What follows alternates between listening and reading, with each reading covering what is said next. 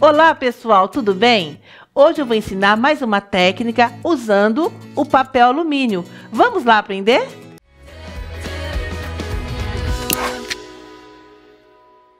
Hoje eu vou estar ensinando mais uma técnica com papel alumínio. Nós vamos fazer essa técnica que imita a prata boliviana. Você pega uma peça de MDF, não precisa dar o fundo, tá? Que nós vamos passar pasta de modelagem. Nós vamos estar usando o extenso. Vamos colocar o stencil, coloca uma fita crepe para prender. Eu vou estar usando a pasta de modelagem. Nós vamos passar aqui no stencil agora. Aí você vem com a espátula e coloca a pasta de modelagem e estica sobre o stencil.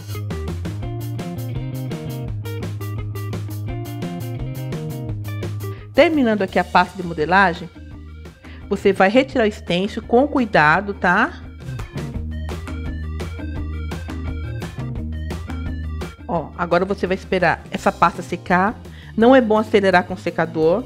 Você pode fazer de um dia para o outro, ou você faz na parte da manhã, na parte da tarde já tá seco, você já pode trabalhar. Para, para, para, para. Você já se inscreveu no meu canal? Ah, não?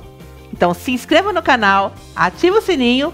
Vamos voltar para aula? Agora nós vamos estar tá usando a cola permanente e com o pincel de cabo amarelo nós vamos passar em toda a peça.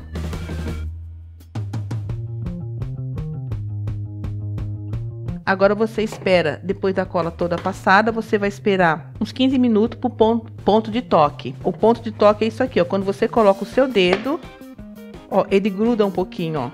Tá? Esse é o ponto de toque. Aí você pega o papel alumínio, corta ele um pouquinho maior do que a tampa ou a caixa que você estiver usando. Tem que estar tá sempre sobrando, tá? O papel alumínio para você estar tá colocando, porque neste caso nós vamos estar tá usando aqui também dos lados, tá certo? Então, eu já tenho um aqui recortado.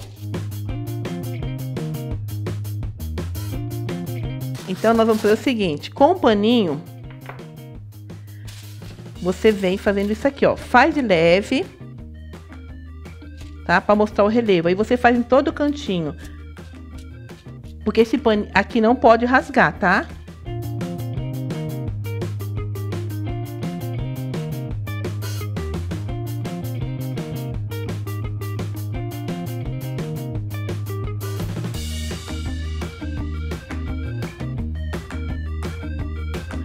Bom, agora tá todo pronto já recortei todo em volta. Agora nós vamos estar usando o betume da Judéia.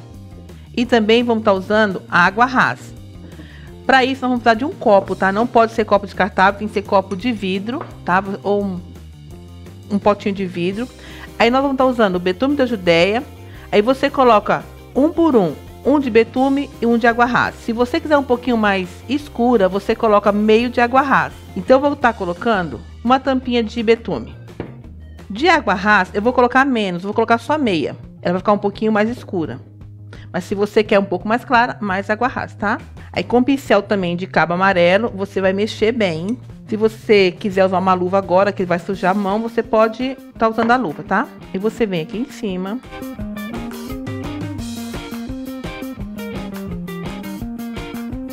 Com um paninho de malha e você vem tirando o excesso, tá? Tire o excesso num sentido só, tá?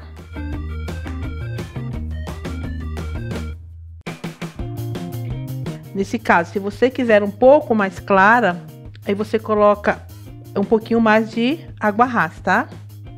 Agora vamos passar nos, nos lados.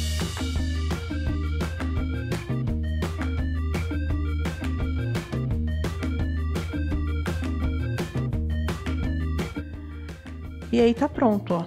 Como fica bem bonita essa peça.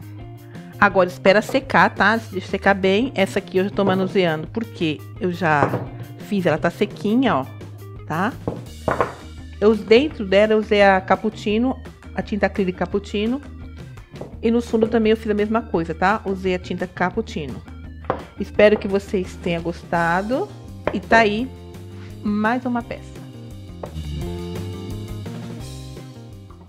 E aí, gostaram do vídeo? Se gostaram, se inscreva no canal, curte, compartilha com seus amigos, me siga no Facebook, no Instagram.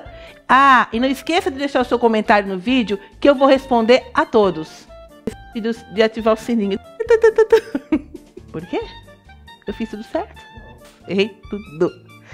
Errei tudo. Você já se inscreveu no meu canal? Ah, não? Então se inscreva logo. Tá sabendo da novidade? Ah, não. Hum, então eu vou te contar. Se inscreva no canal. Que. Não, inscreva no canal. Tá sabendo da novidade? Ah, não. Eu vou te contar. Eu gravei um curso online para iniciante no artesanato. Eu vou deixar o link aqui na descrição para você que quer saber mais.